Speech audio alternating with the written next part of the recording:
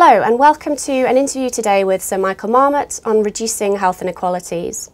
My name's Jacquie White, I'm a director in the System Transformation Group within NHS England and the role of our group is to support the development of integrated care systems. Reducing health inequalities continues to be a priority for the NHS. The five-year forward view set out clear action to reduce health inequalities and close the health and wellbeing gap.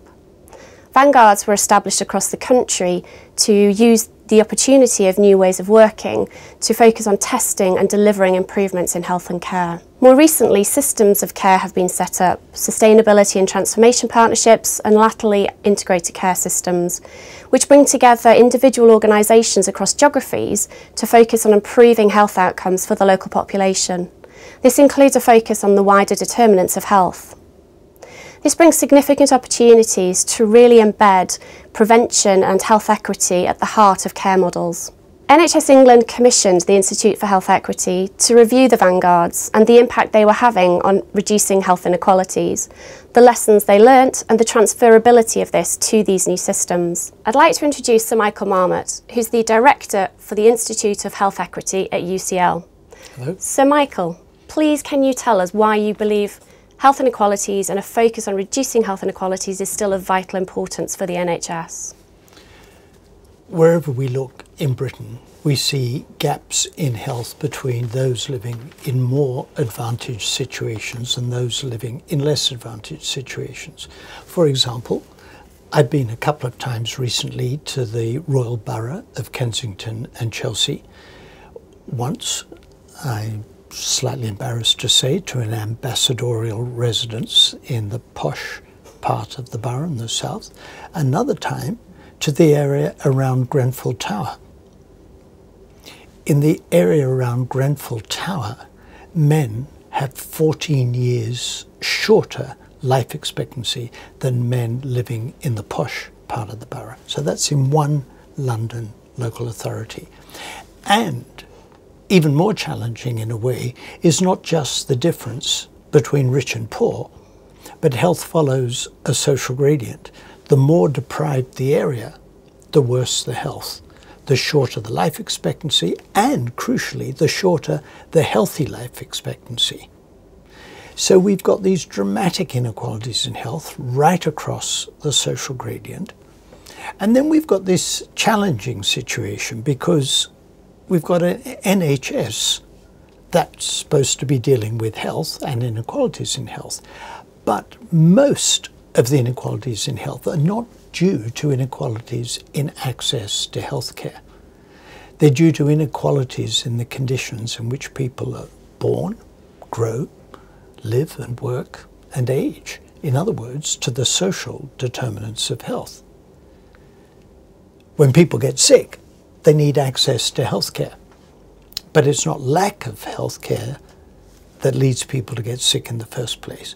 So then the big question is given that people who work in the healthcare system want to see their role as improving health, what can a health care system do for the health not just of individuals, but for the health of the local population in which that healthcare system is located.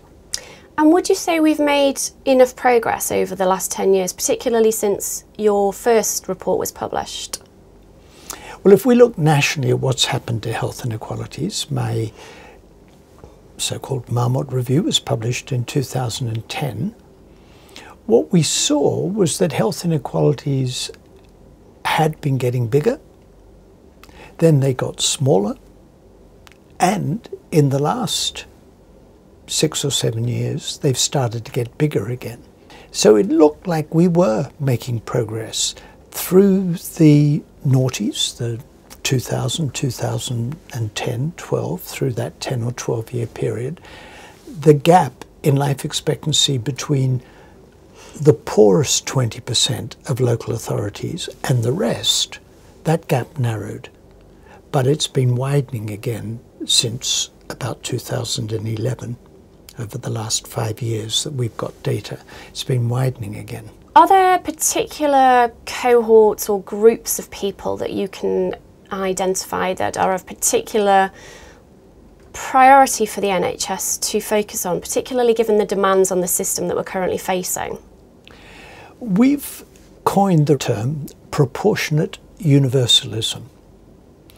And by that I mean the NHS is a universalist system. It's available to all of us. But some of us need it more than others. So we have effort proportionate to need. And the idea is we want a universalist system that's for everybody. Ideally, you probably like to die bungee jumping at 95, you know, and the rope snaps and that's it. Never having used the NHS, that would be, you know, you, you wouldn't regret having paid taxes all those years. You'd be pretty happy that you never needed it.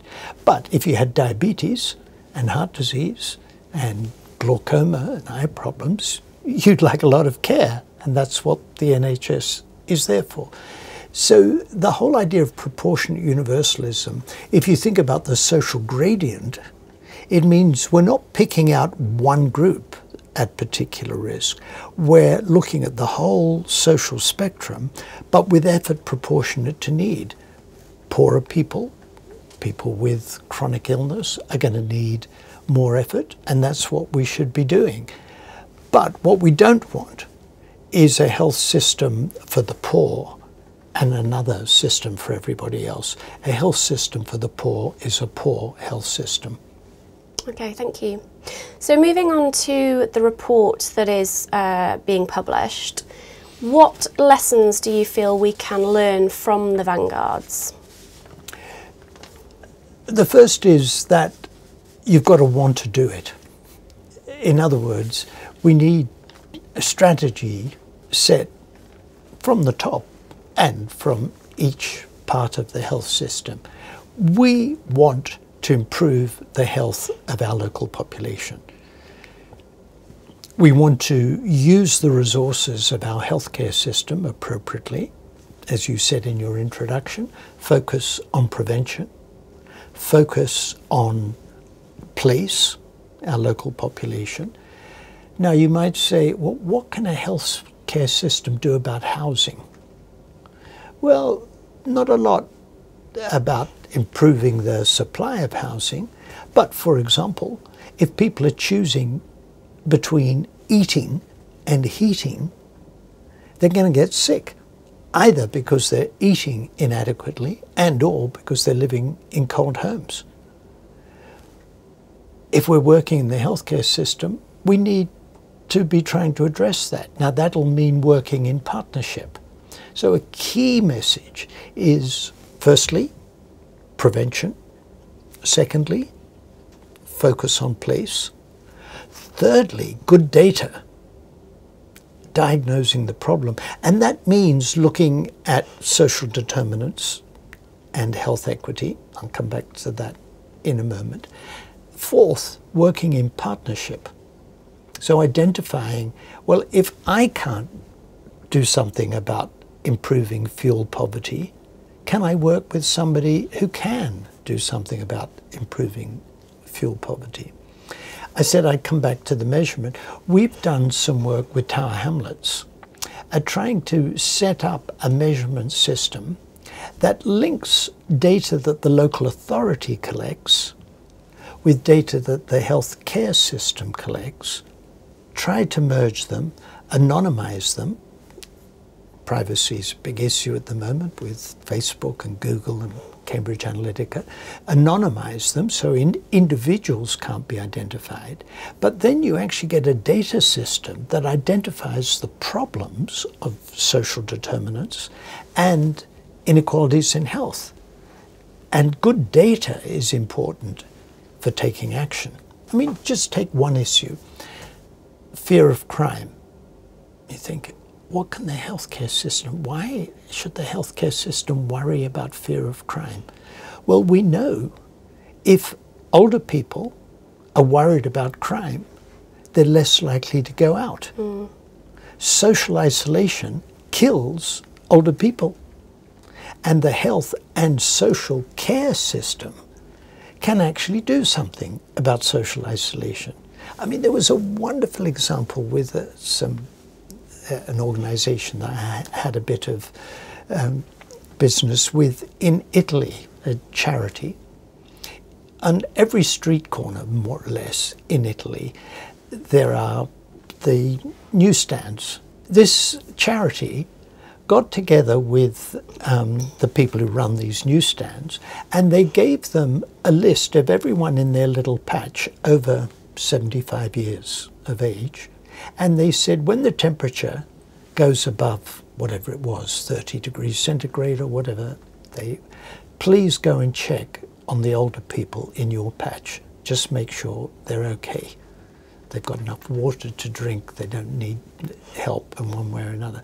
So they're getting the paper sellers to help with dealing with the health, potential health issues of the older population in a very local way. Community assets in action. Absolutely. Fantastic. So, thinking about the report that's coming out, what would you say are the key actions that it gives the systems now, the new systems that have been set up? What are the key things within the report that can really help them get to grips with reducing health inequalities? Well, we identify the importance of strategy, of saying, we can do this, let's work out how to do it. Secondly, there are a couple of existing mechanisms that can be used.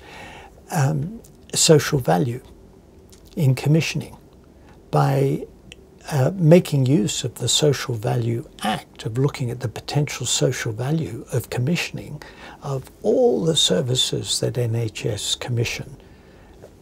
Is it having a positive impact on the health and well-being of our local population, for example?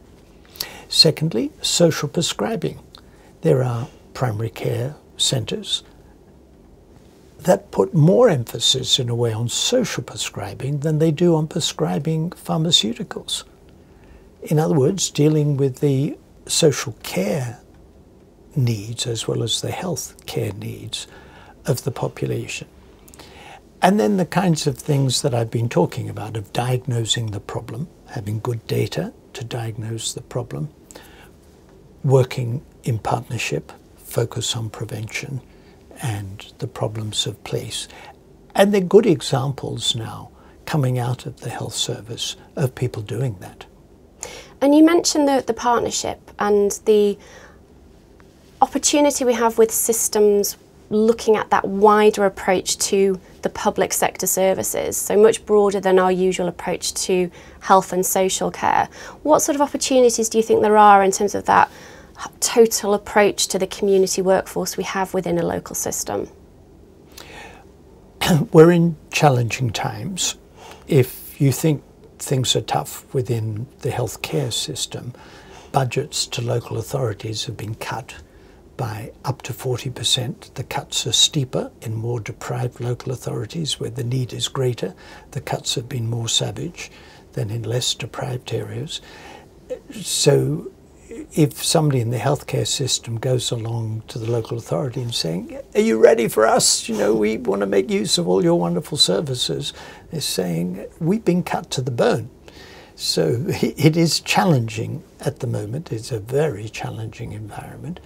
But take the obvious one that everybody's been concerned about social care for the elderly. Well, we now have a, a Secretary of State for Health and Care precisely because we need to get those aligned. Um, helping older people to lead a meaningful, independent existence is highly relevant to the burden on the healthcare system. So we need to be working in partnership. Look at young children at the other end of life. If children are sick, they need to be treated. But promoting good social development, cognitive, linguistic, emotional, behavioral development is part of setting the platform right for better health and narrowing of health inequalities later in life. So we in the healthcare system need to be working in partnership with those concerned with early child development. So, a real opportunity if we joined up all the different plans, the ways of working, we could potentially get a lot more out of the capacity we've got and at the same time improve outcomes and reduce health inequalities? There's something fundamental here that, in a way, doesn't come through the report we've done for NHS England, but it is fundamental that my view is that most people working in the health service, working in the fire service, I know the police less well, but uh, working in social services, most people want to do a good job. And in these services, doing a good job doesn't just mean getting a nice tick in a box on a form, it means helping people. That's what most of us want to do who work in these services. We want to do a good job. And we're saying, let's define good job as improving the health of the local population and reducing health inequalities. And in a way, what we need to do is to create the opportunities for people to pursue that vocation, that mission of improving things for people. Thank you very much, Sir Michael. So, one last question. Do you feel like the message is starting to get out there about this, about the importance of it, about it being everybody's business? You have to discount what I say because I'm an optimist and I see good things happening everywhere. But we produced a report when I was president of the BMA. We produced a report on what the healthcare professions could do to address social determinants of health. We got sign up from 19 medical royal colleges and, and Royal College of Nursing and the like. And I, in a very self indulgent way, went through my diary for the last few months at who has invited me to come and talk to them about social determinants and health equity.